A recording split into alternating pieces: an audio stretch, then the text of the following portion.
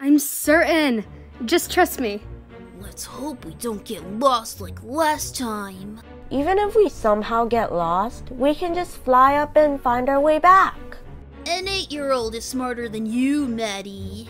Would you stop teasing me about that? You're starting to annoy me now.